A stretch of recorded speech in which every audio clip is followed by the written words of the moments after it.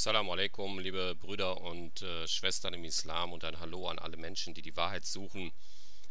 Ich äh, will mich ein wenig mit diesem Herrn hier beschäftigen, Hamid Abdel Samad, der hier in Deutschland gefeiert wird als ein Islamkritiker, manche sagen sogar Islamwissenschaftler, wie zum Beispiel der User Lorbas88, der hat das Video hochgeladen mit Hamid Abdel Samad, Islamwissenschaftler.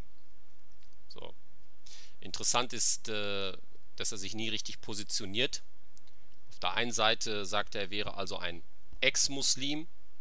Dann heißt es wieder, er ist ein Muslim, der den Islam reformieren will. Dann wiederum stellt er sich dahin und sagt, die islamische Welt geht komplett unter. Das heißt, er ist ein Tausendsasser und legt sich nicht fest. Zu ihm ist auch zu sagen, dass mir aufgefallen ist, dass in Talkshows, wo er auftritt, er sehr gerne sehr viele Fachbegriffe verwendet, die im Kontext der Debatte nicht passen und letzten Endes äh, so wirken auf mich wie auswendig gelernt und schnell runtergerasselt, um ein bisschen Wissen vorzutäuschen. Denn für mich ist dieser Mann alles andere als wissend. Das beginnt schon damit, dass er tatsächlich an die Muslime herantritt und sagt, dass der Koran irrelevant sei. Er sagt, man müsse den Islam verstehen ohne Koran. Das ist genauso, wenn ich sagen würde, man muss den Kommunismus verstehen ohne Karl Marx. Ja, das soll jetzt bitte nur als Vergleich, als Verständnisvergleich dienen. Ja.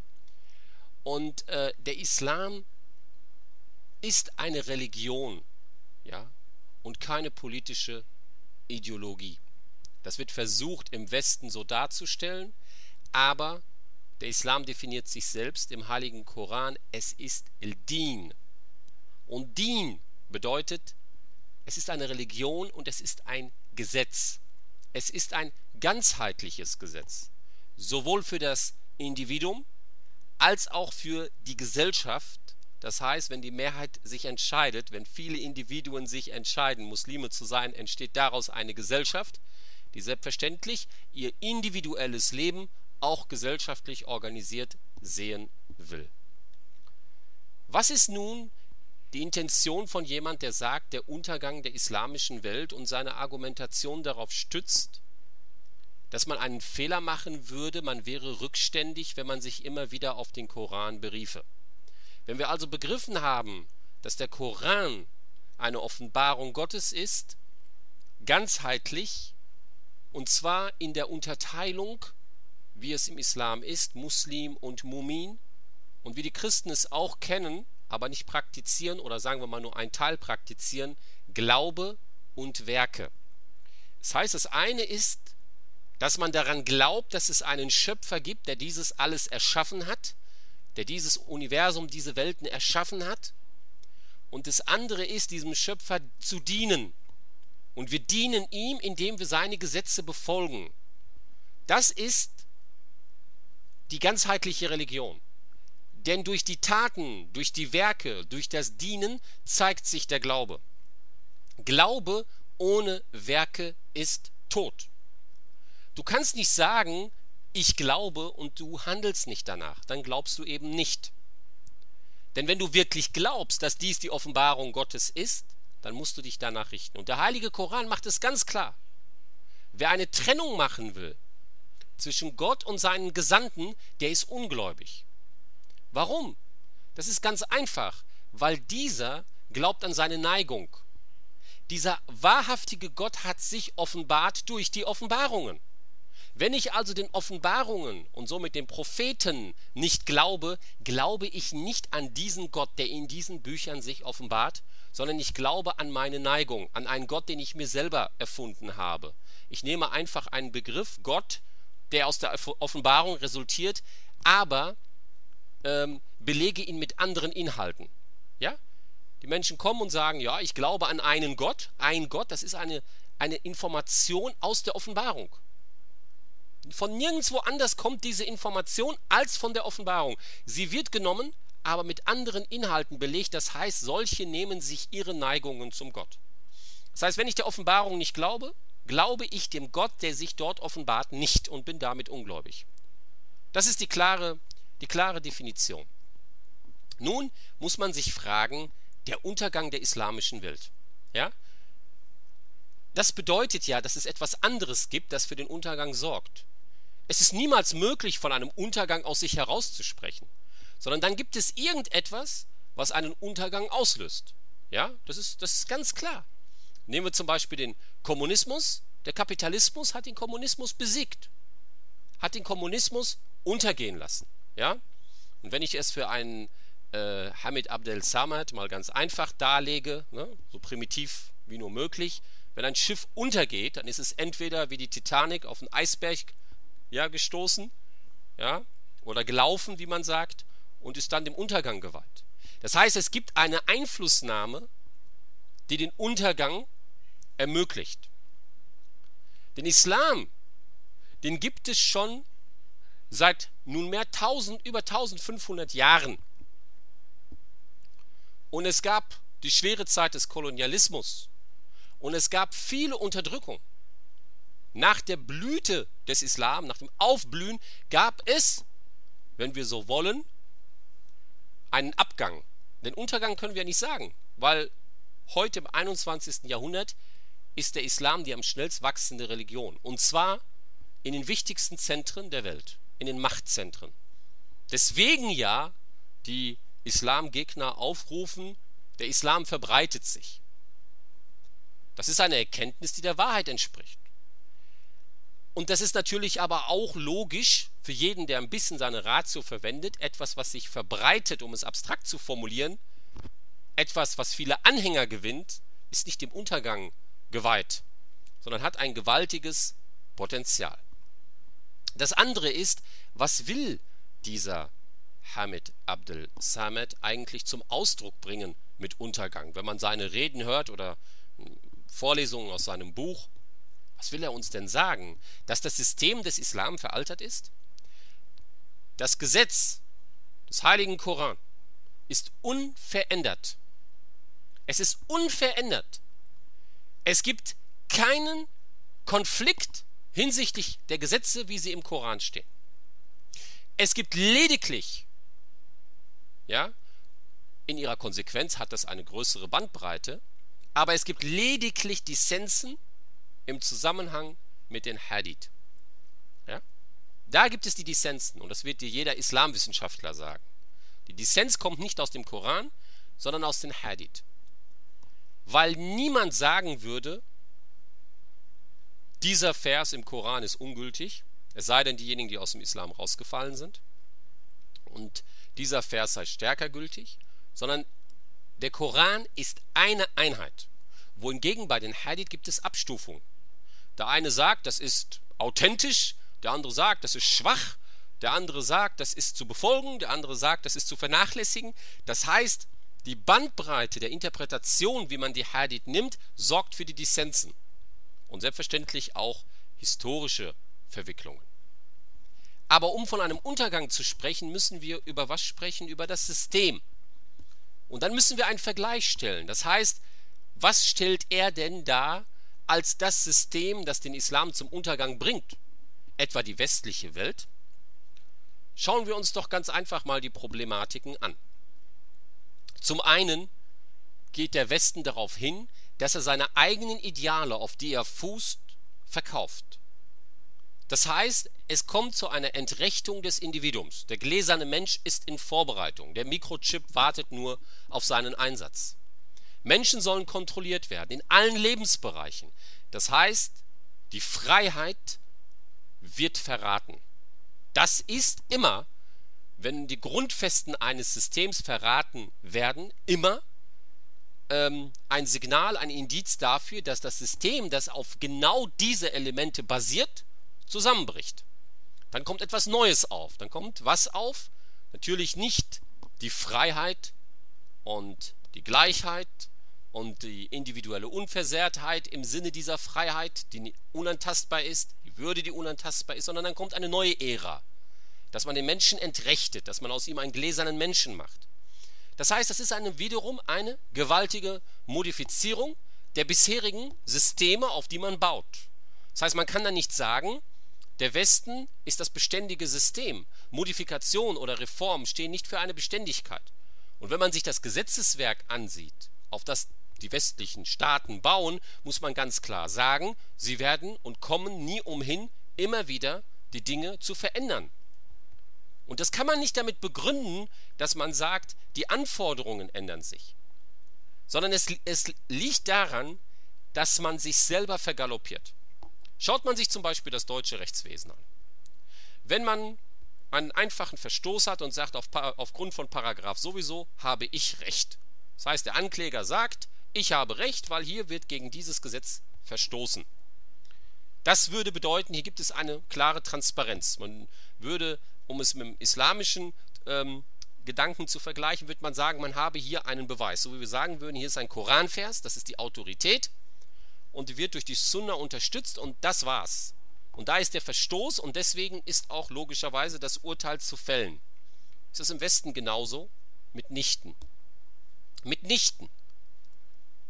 Es kommt gar nicht darauf an, dass man sich auf einen Gesetzestext oder einen Paragraphen bezieht, sondern für einen Rechtsanwalt kommt es nicht darauf an, dass er sagt, das ist jetzt der Verstoß gegen Paragraph sowieso und dann haben wir den klaren Gesetzesinhalt zu diesem Gesetzestext, sondern er wird in der Praxis Folgendes machen. Er wird erst einmal sehen, ob er Präzedenzfälle findet, ob er Urteile findet, ja, am liebsten von höheren Instanzen, möglich auch BGH. Und dabei geht es darum, dass ein Richter bei einem BGH-Urteil den Gesetzestext anders auslegen und interpretieren kann. Es gibt hier eine Bandbreite, eine Variationsbreite.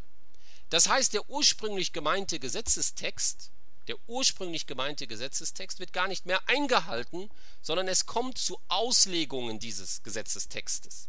Das führt dazu, dass dann die Rechtsprechung, dass die Urteile, die dann gefällt werden, über dem Gesetzestext stehen, weil nach dem Prinzip, wenn einmal dieses Urteil gefällt wurde, zum Beispiel vom BGH, und dieser äh, nicht durch einen neuen Gesetzestext ausgehebelt wurde, dann hat dieses Urteil ganz klar die Priorität vor dem eigentlichen Gesetzestext. Das heißt, einmal so entschieden, einmal so geurteilt, also muss in dem vorliegenden Fall genauso geurteilt werden. Die Interpretation des Richters über den Gesetzestext, das zu einem Urteil führt, das von der eigentlichen Absicht des Gesetzestextes abweicht, ist dann maßgeblich und nicht mehr dieser individuelle Paragraph mit diesem hinterlegten Gesetzestext. Die Gesetzestexte sind viel zu kompliziert. Sie sind verwoben und sie widersprechen einander. Es gibt gewaltige Probleme. Das heißt, man hört dann immer, dem steht Paragraph sowieso entgegen, dem könnte Paragraph sowieso entgegenstehen. Es gibt immer wieder Dissensen. Man hat nicht die Möglichkeit, einfach zu sagen, das ist jetzt der Paragraph sowieso, so wie wenn der Muslim sagt, Sure sowieso, Vers sowieso steht das und das drin, eindeutiger Beweis, wird durch die Sunna gestützt und das ist eine gewaltige Effizienz. Würde man also jetzt rein von der Effizienz sprechen, der, der, Effizienz ein Urteil zu fällen und damit Gerechtigkeit herbeizuführen, ist der Islam bei weitem überlegen.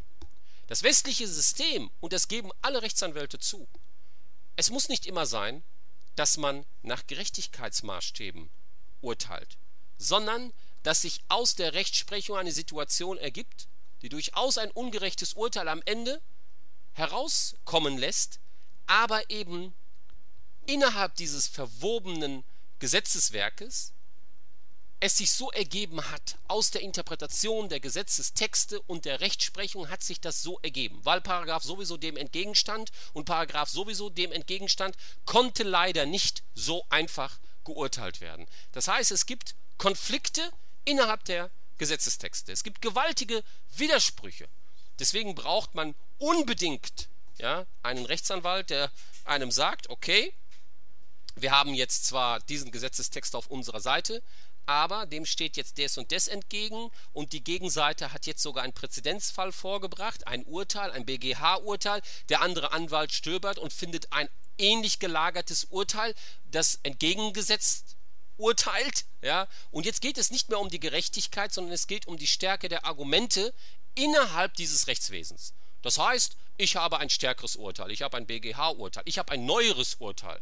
Ja, ich habe, äh, wenn jetzt also der Anwalt sagt, er hat ein Urteil aus dem Jahre 2004, sagt er, ich habe aber hier ein Urteil aus dem Jahre 2007 und damit ist mein Urteil neuer. Es geht also gar nicht explizit um die Gerechtigkeit wie im Islam, ja, wo wir ganz klar das oberste Gebot und oberste Prinzip ist die Gerechtigkeit, sondern es geht um eine eigene Welt für sich, in dem Schach gespielt wird und am Ende abgewogen wird, wer die besseren Argumente hat, wer die besseren Gesetzestexte, ähm, die besseren Urteile, besser gesagt, die besseren Urteile vorbringt, die besseren Präzedenzfälle vorführt und damit kann man sagen, ich habe hier ein BGH-Urteil und ich bin fein raus und wenn der Richter den Gesetzestext in seinem BGH-Urteil anders ausgelegt hat für diesen individuellen Streitfall, um den es geht, dann wird es kompliziert, dann wird man überlegen, ist hier ein Analogieschluss überhaupt möglich? Das ist dann wiederum individuelle Angelegenheit eines Richters dann zu überlegen, ob ein Analogieschluss überhaupt möglich ist oder nicht.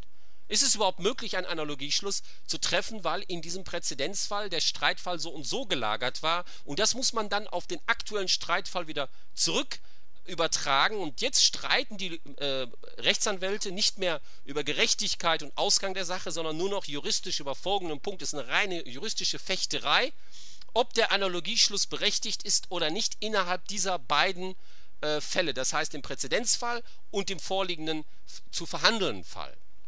Das heißt, wir befinden uns dann in einer eigenen Welt. Und das führt dazu, am Ende, dass nicht immer die Gerechtigkeit siegt. Und das weiß man. Und ich sage ganz deutlich, dass ein System, das in Kauf nimmt, dass nicht die Gerechtigkeit siegt und letzten Endes wissen, dass der, weiß der Otto Normalverbraucher, dass erst wenn er mal so einen Fall hat, wo er meint, ich habe den schon gewonnen, ich habe die Gesetze auf meiner Seite und plötzlich auf der Verliererstrecke steht, weil er sieht, was dann aus dieser seiner Überzeugung und dem Gesetzestext gemacht wird. Ja? Das andere ist, dass die Gesetzestexte viel zu kompliziert sind und auch die Rechtsprechung viel zu kompliziert sind ja, sodass es immer wieder Möglichkeiten gibt, was die Revisionen angeht. Und bei Revision wissen wir ja selber, Revisionsverfahren, äh, ja, wenn es gerade auch um zum Beispiel Ärztefehler geht, medizinische Angelegenheiten, wer siegt? Derjenige, der sich das dann auch leisten kann, weil es kostet verdammt viel Geld und der Otto-Normalverbraucher kommt gar nicht mehr mit, hat vielleicht sogar recht und er sagt einem Anwalt ihm, Sie haben zwar eindeutig recht, der Fehler liegt da, Sie haben Recht auf das Schmerzensgeld, aber das wird erstmal eine Rieseninvestition für sie sein, bis am Ende der Durchstrecke sie vielleicht gewinnen. Man weiß nicht, was ihnen da noch alles blüht und entgegensteht. Das heißt, im Zentrum steht nicht die Gerechtigkeit, sondern eine eigene juristische Welt, wo durchaus am Ende ein ungerechtes Urteil stehen kann. Das ist im Islam unmöglich. Das ist im Islam unmöglich. Und das ist die Überlegenheit des islamischen Gesetzes, weil es baut wie Jesaja 28 es schon prophezeit hat. Der Maßstab Gottes wird sein, die Gerechtigkeit. Darauf baut das komplette Gesetz. Was ist jetzt überlegener? Juristen und Winkeladvokaten, die sich in ihrer eigenen juristischen Welt und argumentativ zerfleischen, und es geht gar nicht mehr um die Gerechtigkeit, sondern um die Paragraphen gegeneinander abzuwägen, die beiden Präzedenzfälle gegeneinander abzuwägen, die Inhalte, den Analogieschluss gegenseitig abzuwägen. Der Präzedenzfall, ist er überhaupt auf den verhandelbaren Fall anwendbar? Wie war der gelagert? Was sind hier die Schwerpunkte? Was war damals für diesen Richter äh, Grund, so zu urteilen? Welche Aspekte überwogen? Wie kann man das auf den vorliegenden Fall übertragen? Das ist dann die Aufgabe des Richters, das zu prüfen, um zu sehen, ob das Argument des Präzedenzfalles dann stichhaltig ist oder nicht. Das sind alles überhaupt keine Erwägungspunkte, gerecht am Ende ein Urteil zu fällen, sondern man ist ganz klar, die Hände sind gebunden. Man ist in so vielen Dingen verstrickt und die Hände sind gebunden, ein gerechtes Urteil zu fällen. Das heißt, das sind Problematiken der hiesigen, ja, man kann jetzt sagen, der hiesigen Juristik, ja, und es ist bekannt, ja, das ist ein Winkeladvokat, wie man sie auch gerne nennt, ja, dass der seinen Mandanten rausboxen kann, obwohl das Gesetz nicht auf seiner Seite ist. Und das ist eine gewaltige äh, Problematik. Es ist, es ist nicht transparent. Ja, vom Steuerrecht will ich überhaupt nicht erst reden. Ja, das ist äh, sowas von verworren und kompliziert und führt letzten Endes nur zu eins, zu einem Aufblähen der Bürokratie. Und wenn jemand äh, sein Recht sucht, dann hat er einen jahrelangen äh, Rechtsstreit und am Ende vielleicht sogar ein ungerechtes Urteil. Das heißt, das ist nicht überlegen, das System. Ganz und gar nicht. Der Islam der Koran und die Sunna sind überlegen. Sie sind schnell und direkt. Ja, natürlich sind sie auch, ähm, äh, bedarf es hier einer genauen Analyse, aber immer unter dem Aspekt der Gerechtigkeit. Und die beste Gerechtigkeit ist im Heiligen Koran und der Sunna, die den Koran erläutert und erklärt. Und das sind die besten Präzedenzfälle. Die Sunna ist der beste Präzedenzfall. Und es ist nicht ein derart komplizierter Gesetzestext, dass man nicht mehr vorn und hinten weiß. Sondern es ist einfach, klar und stichhaltig und würde, ja, damit man nicht immer mit dem Argument kommt, eine moderne Volkswirtschaft braucht ein derartiges Regelwerk, äh, wie zum Beispiel jetzt, wenn man sagt in Deutschland, das ist einfach erforderlich, um diese Volkswirtschaft, um diese Wirtschaft, um diese Menschen zu führen. Das ist völliger Unsinn. Ja, das ist völliger Unsinn. Es ist eine Verkomplizierung, äh, die, die absolut stupide ist. Nebst dem bürokratischen Apparat, der sich dort aufgebläht hat. Ich will jetzt hier nicht alle Details aufführen, das wäre ein stundenlanger Vortrag. Ich will es mal an diesen ein, einzelnen Beispielen klar machen, was hier die Problematik ist, was man hier auch sachlich mal fundiert sehen muss. Ja? Und da haben wir die Überlegenheit, dass wir den Analogieschluss sehr einfach bilden können. Und der heilige Koran hat auf jede Situation, auf jeden Streitfall eine Antwort und einen einfachen, klaren Analogieschluss. Ja? Ich brauche mir jetzt hier nicht, äh, wie viele Semester Jura studieren, um zu wissen, Vorsatz, Fahrlässigkeit und so weiter, ist im Koran alles festgelegt. Ja? Wenn man eine Straftat nimmt, zum Beispiel Mord, der absichtliche Mord, der unabsichtliche Mord, fahrlässig, grob fahrlässig. All dieses kann man aus dem Koran einfachst gewinnen. Nur der Mensch ist nicht in der Lage für die Präzisierung. Das heißt, er schwafelt viel, viel drumherum und letzten Endes geht das dann so weit, dass die Gesetzestexte, das muss man sich mal vorstellen, die verabschiedet worden sind und die Intention des Gesetzgebers später gar nicht mehr klar sind und in der Rechtsprechung diskutiert werden.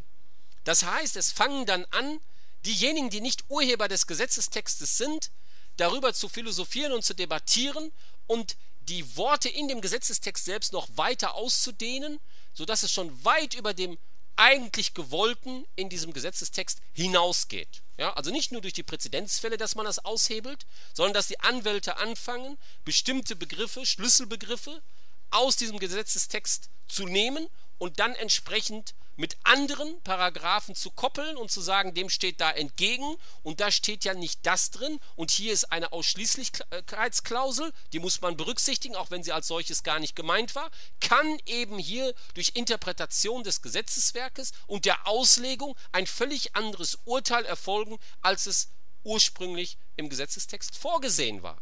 Wir haben eine absolut nicht gegebene Transparenz. Und die ergibt sich erst, ja, jeder Anwalt, keiner kann sagen, nur, den Prozess werden wir gewinnen, ist ganz klar, Sie haben hier den und den und den Gesetzestext auf Ihrer Seite.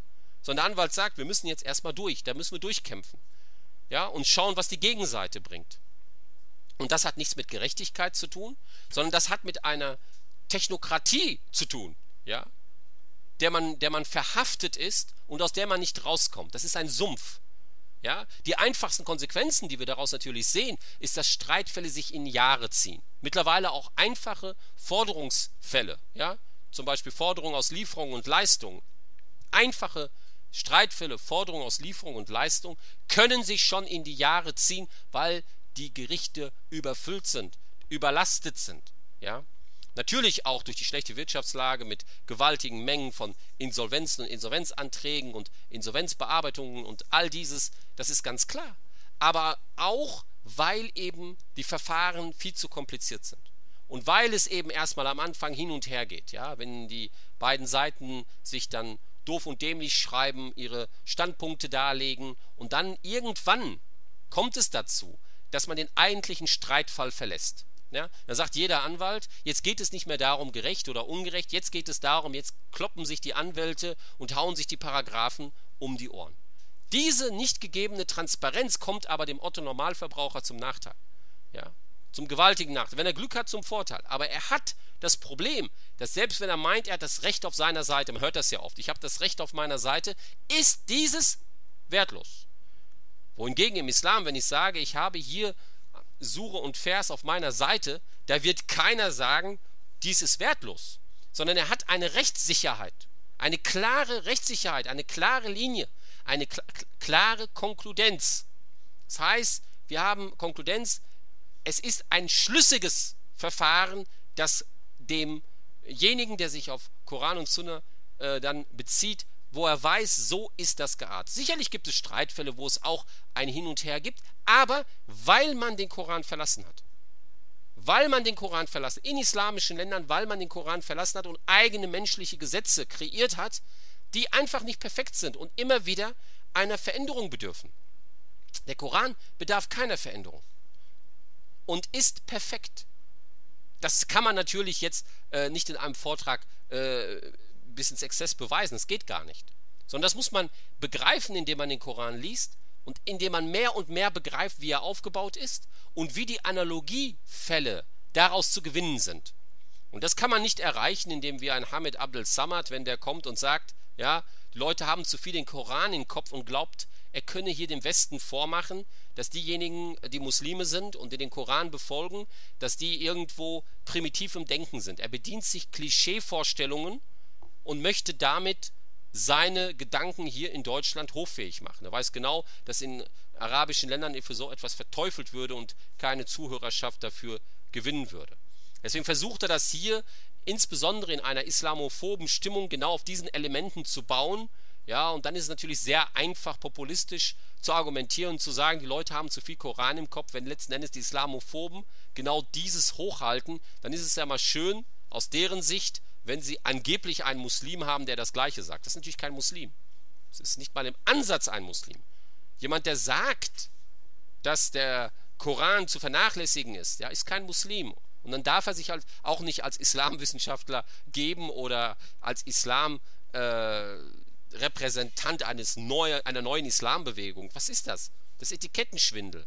Ich kann nicht sagen, ich nehme mir den Begriff Islam ja, wie im Heiligen Koran steht, dass wir Muslime sind und unsere Religion der Islam, den nehme ich mir den Begriff und sage dann aber die primär die, die, die äh, Autorenschaft der Religion des Islam, der Koran, lege ich beiseite und mache mein eigenes Ding. Das ist Etikettenschwindel. Dann muss er etwas anderes äh, predigen. Ja? Nicht Islam, sondern äh, Hamidismus oder Abdel-Samadismus. Ja? Keine Ahnung, irgendwas in dieser Richtung. Um deutlich zu machen, dass dies eine individuelle Geschichte hat, die nichts mit dem Islam zu tun hat. Und er kann auch nicht aus dieser individuellen Sichtweise sagen, die Leute haben zu viel Koran im Kopf, wenn er eine andere Ideologie äh, in, im Kopf hat oder eine andere Religion im Kopf hat. Ja? Dann ist das Unsinn zu sagen, Leute haben zu viel Koran im Kopf. Er kann er darauf überhaupt nicht bauen. Dann hat er den Islam verlassen und braucht den Muslimen nicht mit irgendetwas kommen, mit Verbesserungsvorschlägen oder sonst irgendetwas. Ich kann nicht etwas komplett verlassen und dann mit Verbesserungsvorschlägen kommen gegenüber dem, was ich verlassen habe, dann habe ich es verlassen. Dann bin ich weg, Offroad. Dann habe ich damit nichts mehr zu tun. Dann ist doch klar, wenn ich etwas verlasse, dass ich dann am liebsten alles verändern möchte. Das heißt, alles umstellen möchte. Ist doch klar, aber das ist doch, das ist doch dann unlogisch, sich dahin zu stellen als Islamkritiker. Du hast den Islam verlassen, mach was anderes. Ja? Gründe eine eigene Religion, aber nimm den Begriff Islam nicht in den Mund. Hast du nicht das Recht zu. Weil Islam kommt durch den heiligen Koran. Und wenn du den Koran ablehnst, mach was anderes. Das ist absoluter Etikettenschwindel. Es ist eigentlich, äh, wenn, man, wenn man das äh, so sehen würde, auf, auf äh, Urheberkonstellation, ja, muss man sich mal vorstellen. Ich mache jetzt das nur als ein Gleichnis. Ja, da ist ein Buch, ja, und da ist eine Idee in dem Buch und die nehme ich mir raus und sage, die Idee ist gut. Diese eine Idee nehme ich, den Begriff, aber ich verwende einen völlig neuen Inhalt und sage, das ist die Wahrheit und sage, das Buch, das letzten Endes diesen Begriff definiert, das soll man vergessen, das soll man an die Seite legen. Das heißt, das Buch, das diesen Begriff definiert, soll man an die, Weite, an die Seite legen, dann nimmt er diesen Begriff und definiert ihn neu. Das heißt, das ist Etikettenschwindel. Eindeutig. Und deswegen äh, empfehle ich, diesen Hamid Abdul Samad nicht zu schreiben, der Untergang der islamischen Welt, sondern soll er dann sagen, die Einführung seiner neuen Religion. Ja?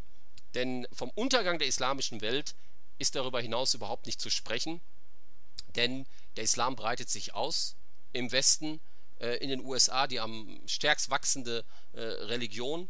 Und äh, im Westen immer mehr Menschen kommen zum Islam. Und das ist nicht Zeichen für Untergang, sondern das ist Zeichen für eine Aufbruchsstimmung. Und äh, dass eben auch die Menschen die Wahrheit erkennen. Und desto mehr Menschen die Wahrheit erkennen, Menschen sind diejenigen, die letzten Endes entscheiden, wie sie geführt werden wollen. Und wenn es eine Mehrheit gibt in einer Gesellschaft, die Muslime sind, dann wird selbstverständlich die gesellschaftliche Führung, die politische Führung muslimisch sein. Das ist doch ganz klar. Und wenn also jetzt mehr Anhänger dazukommen, gehen wir eben dorthin, dass wir nach Koran und Sunna inshallah regieren wollen. Ja? In der Zukunft. Das heißt, wenn wir die Mehrheit bilden. Denn die Muslime wollen dies. Da kann man denen das auch nicht nehmen. Das ist im Herzen verankert. Das ist deren Überzeugung. Solange wir keine Mehrheit haben, können wir das nicht in Anspruch nehmen. Das ist doch eine völlig klare Sache. Das kann man doch auch nicht verbieten. Ja, Mind Control geht nicht. Ja, und das, was man in seinem Herzen hat, das ist ganz einfach die Überzeugung. Letzten Endes soll man das natürlich einfach friedlich verkünden. Aber wenn immer mehr Menschen dazu kommen, das anzunehmen und das mehrheitsfähig wird, selbstverständlich wird sich dann die politische Lage, die gesellschaftliche Situation ändern. Wie viele Jahre das dauert, wissen wir nicht. Aber wir machen nichts anderes als die Verbreitung der Wahrheit im religiösen Sinne.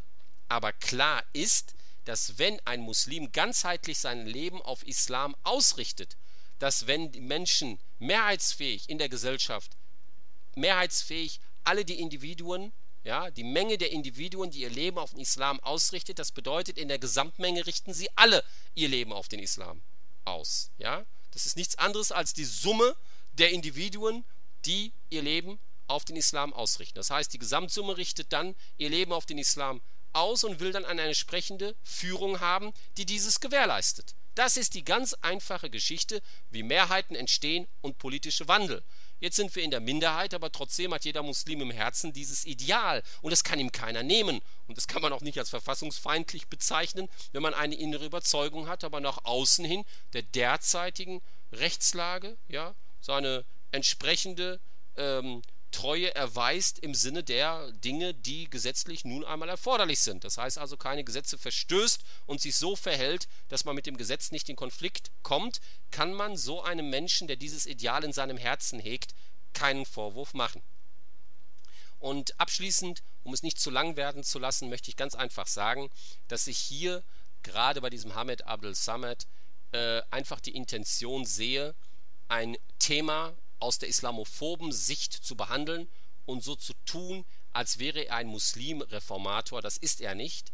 Er ist jemand, der aus dem Islam ausgetreten ist und hat dementsprechend aus der Sicht nicht das Recht zu sagen, die Menschen haben zu viel Koran im Kopf, sondern das Problem ist, er hat den Koran verlassen und argumentiert aus seiner Sichtweise, weil er den Koran nicht verstanden hat, nicht begriffen hat und äh, das sieht man auch an seinen Äußerungen, denn wenn er sagt, dass er ein Mensch ist, der Toleranz ähm, sozusagen hochhält, dann erbitte ich mir von ihm die Toleranz gegenüber den Muslimen, derartige Provokationen nicht in den Mund zu nehmen und ihre Religion nicht mit Füßen zu treten, denn das ist ganz klar, die Würde des Menschen ist unantastbar. Und Herr Hamid Abdel Samad, wenn Sie jemand sind, der dieses hochhält, dann bitte ich Sie darum, die Würde des Menschen nicht anzutasten und aufzuhören zu proklamieren, nur um damit eben entsprechend profitorientiert ähm, Erfolge einzufahren, immer wieder zu proklamieren, der Koran sei irrelevant und gehöre abgeschafft und all solche dummen Sprüche.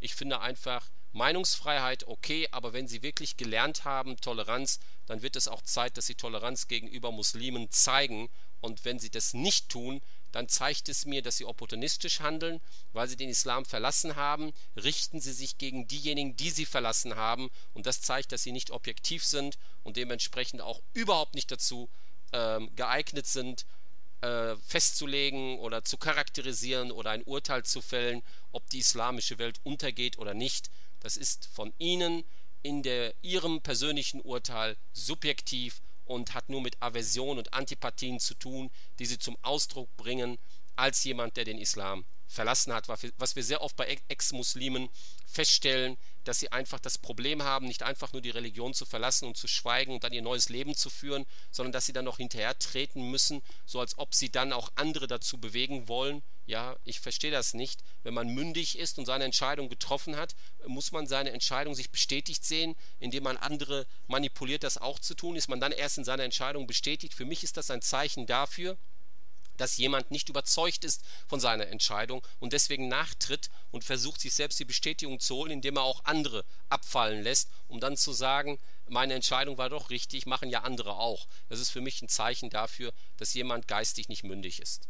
Damit schließt mein Vortrag und äh, Assalamu alaikum wa rahmatillah, meine lieben Brüder und Schwestern im Islam und allen anderen, ein tiefes Nachdenken und Herr Hamid Abdel Samad, Sie sollten vielleicht sich eines anderen Themas widmen, vielleicht gründen Sie ganz einfach eine neue Religion, geben der einen Namen und preisen die als neue Erlösung, aber halten Sie sich vom Islam zurück. Sie sind kein Muslim mehr, dann verhalten Sie sich auch so.